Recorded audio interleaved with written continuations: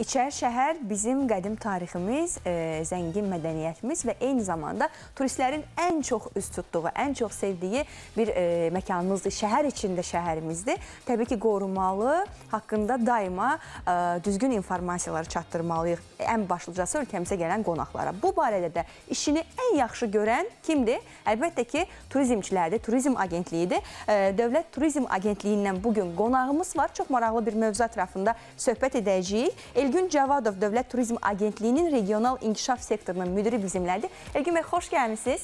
Sabahınız xeyir olsun. Xoş gördüyünü Barxanım. Hamınızı salamlayıram. Necəsiz? Çox sağ olun, yaxşıyam. Yaxşı olun. Ee, biz sizin yaxşı xəbərlərinizi alırıq. Ağa, ağa səsin gəlmir. Necə? Ee, sadəcə gözləyirəm ki, girək söhbətə. Hə. Çünki mən hal-hazırda səsim gəlmir. Çünki mən may e, menyu, Menyu azdasan. Tamam, sən onda orada gəzişməkdə ol. Mən elə keçim söhbətə ki, ə, bir xəbər aldıq. Eşitdik ki, menyu az ə, saytı artıq layihəsi start götürür və bu layihə çərçivəsində Dövlət Turizm Agentliyi yaxşı işlər görməyə ə, başlayıb. Çox sevindik. Bu layihənin əsas məqsədi nədən ibarətdir və necə oldu ki, bu layihəni ə, yaratmağa başladınız? Yəni ideya hardan gəldi?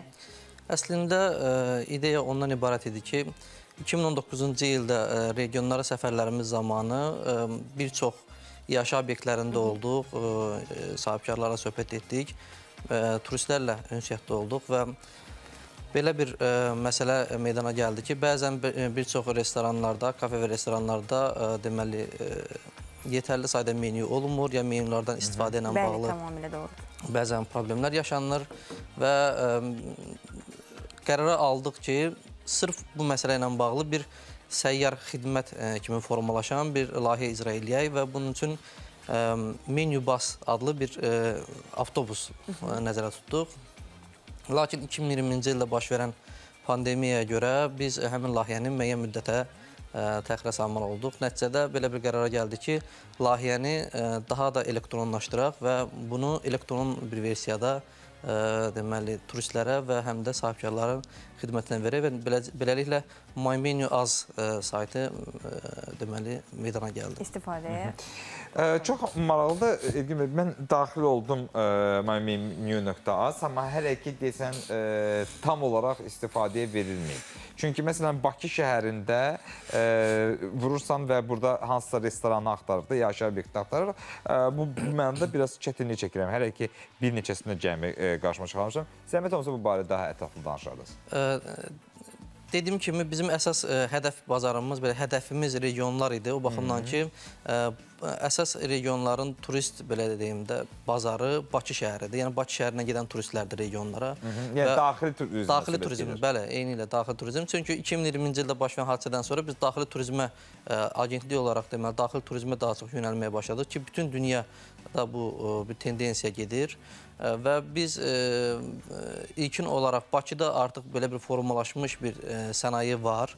Yəni iaşə sənayesi var. Bizim gözləntimiz ondan ibarətdir ki, Bakı deməli restoran və kafeləri özləri birbaşa saytda hesab açaraq öz deməli restoranlarını və menyularını orada təqdim eləsinlər. Amma regionlara isə özümüz ə, gedib regionlara birbaşa ə, layihəni ə, həm təqdim edirik, həm də ki yerində icra edirik. Razılaşanlar varmı sizinlə əməkdaşlıq etməyə razılıq verənlər e, necədir o o əsnada vəziyyət?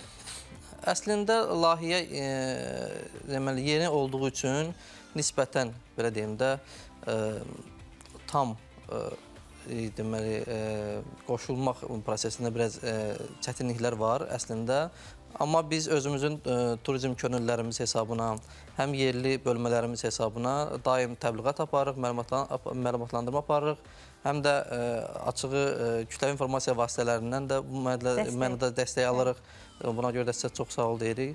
Və əminəm ki, zamanla daha çox restoran və kafelər qoşulacaq və siz dediyiniz kimi də daha çox restoran qoşulduqdan sonra artıq sayt tam gücünə istifadəyə veriləcək.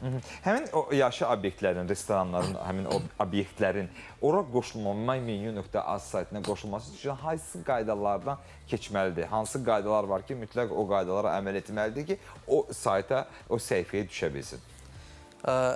Bununla bağlı əslində çox məhdudlaşdırıcı qaydalar qoymamışıq. Əsas istəyimiz ondan ibarətdir ki, Dövlət Turizm Agentliyi tərəfindən sənaye üçün hazırlanmış sahman qaydaları var. Hansı ki 2020-ci il pandemiya şəraitində agentlik tərəfindən sahman qaydaları verilmişdi. Bu bir çox dü- dünya turizm ölkələri tərəfindən bu kimi qaydalar ə, epidemioloji gigiyena uyğun gigiyenaya olaraq bəli, ə, riayət etməsi ilə bağlı sırf ə, belə bir turizmə əsaslı qaydalar müəyyənləşdirilmişdi.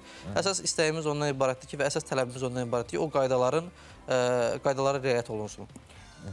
Ə, Həmin bu ə, iaşə obyektlər ki var, İlgün bəy, biz bilirik ki, bəziləri siz bayaq da qeyd etdiyiniz kimi özlərinə uyğun formada menyu tərtib edirlər, qiymət ə, qoyulur yeməklərə və ən çox da elə mənim də başıma gəlib bu bölgələrə səfər edəndə ən çox da müştərilər bundan şikayət edir ki, menyu yoxdur, qiymətlər fantastik formada bahadır.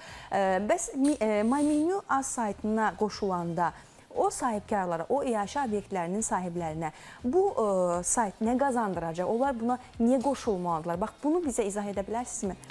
Açığı turizm elə bir sahədir ki, orada ə, tələb təklif əsasında formalaşır. Hə, bütün ə, bu dəyər zənciri tələb təklif əsasında formalaşır. Bu baxımdan ə, bizim istəyimiz ondan ibarətdir ki, regiona səfər edən, ümumiyyətlə restoran və kafe axtarışında olan və menyuları axtaran, daha öncədən məlumat almaq istəyən ə, turistləri məlumatlandıraq ki, harda hansı qiymətlər var.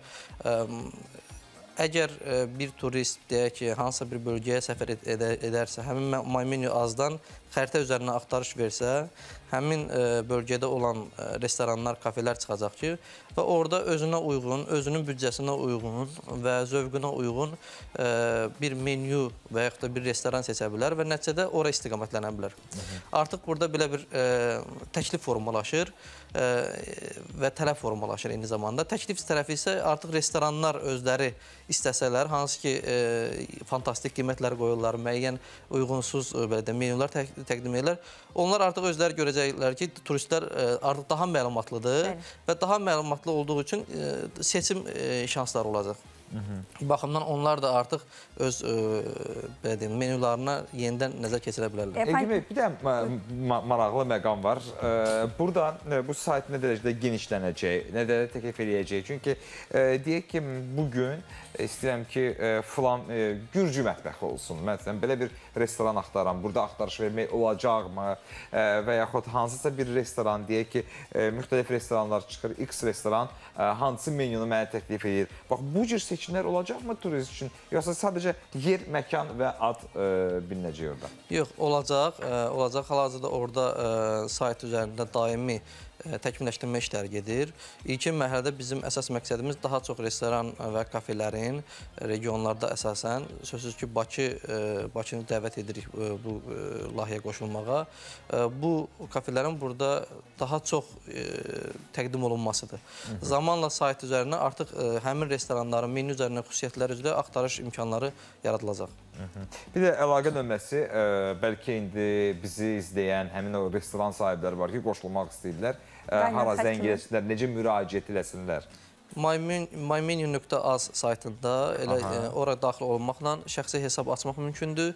Şəxsi hesab açdıqdan sonra hər bir restoran sahibi orada ə, özünün ə, restoranlarını, eyni zamanda hər restorana görə menyularını yarada bilər. Sadəcə olaraq menyuda hansı ə, təkliflər varsa onları qeyd edir. Daha sonra ə, şablonlar var orada, müəyyən zövqlərə və müəyyən belə deyim də tələbata uyğun şablonlar hazırlanıb.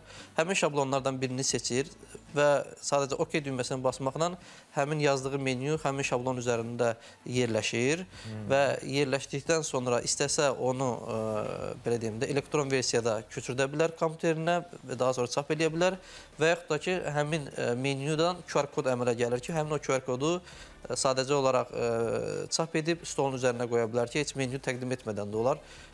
Gələn müştəri QR kodu oxutmaqla ə, avtomatik ə, deməli menyuya elektron şəkildə Bu bir bilər. də maraqlı bir məqam çıxır. Mən mən yazdım. Deyək ki, burada ad, soyad, email, restoran adı, ünvan, şəhər seçim. Bunların hamısını elədim. OK verdim. Həmin QR kodu da qoydum. Menyunu da yüklədim e, və buraxdım və bu səhifədə çıxdı. Sonra siz tərəfindən nəzarət olacaqmı? Bəlkə mən yalandan Ya əlaqə yaradılacaqmı həmin Bəli, obyekt bəli, əlbəttə. Çünki orada bütün məlumatlar e, birbaşa deyil. E, Məlumatlar e, öncə gedir deməli saytın nəzarətçisi tərəfindən yoxlanılır, əlaqə saxlanılır. Məlumatların doğruluğu təsdiqləndikdən sonra artıq o saytda öz əksini tapır.